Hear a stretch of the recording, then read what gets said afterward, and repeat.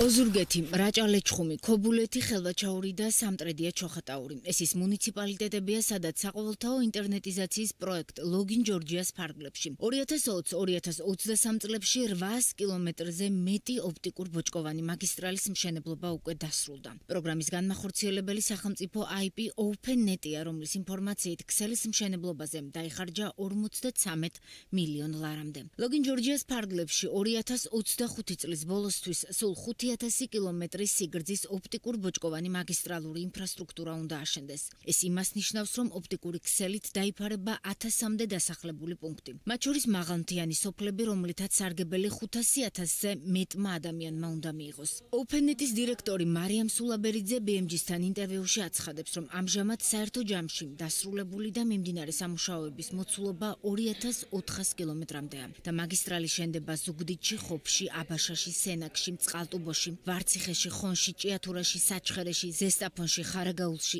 ქედასა და შუახევში. რაც შეეხება 2024 წლის გეგმებს, წელს ოპტიკურ ბოჭკოვანი მაგისტრალი უნდა აშენდეს შიდა ქართლში, ქვემო ქართლსა და სამცხე-ჯავახეთში. სულ 1200 კილომეტრი წლევანდელი ბიუჯეტი 50 მილიონი ლარია. მარიამ სულაბერიძე იმედოვნებს, რომ 2025 წლის ბოლოსთვის 5000 კილომეტრი მაგისტრალის აშენება მოესწრება, მიუხედავად გამოწვევებისა, რომელიც მშენებლობის პროცესს პერიოდულად აჭიანურებს.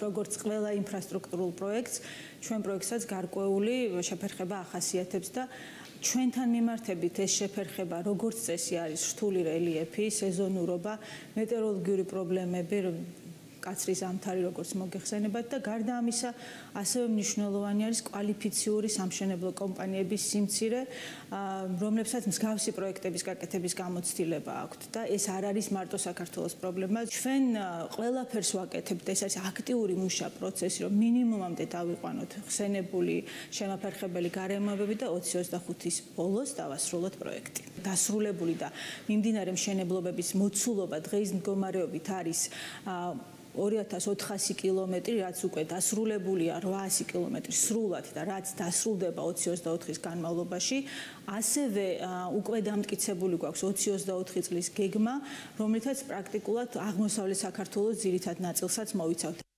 აღსანიშნავია, რომ OpenNet აშენებს ოპტიკურ ბოჭკოვან მაგისტრალს ეგრეთ წოდებულ შუა ძარღვს იმ მუნიციპალიტეტებში, სადაც 200 და მეტი მოსახლეა.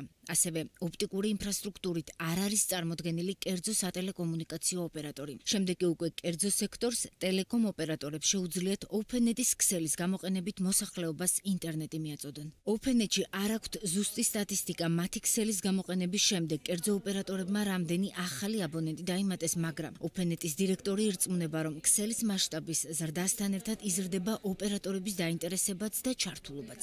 ქონდა კომუნიკაცია, რა თქმა უნდა, ჩვენ ეს ინფორმაციაც მივაწოდეთ, ქონდა გარკვეული ინფორმაციის გაცვლა. საბოლოო დასკვნა დაიდო ის რაც დაიდო.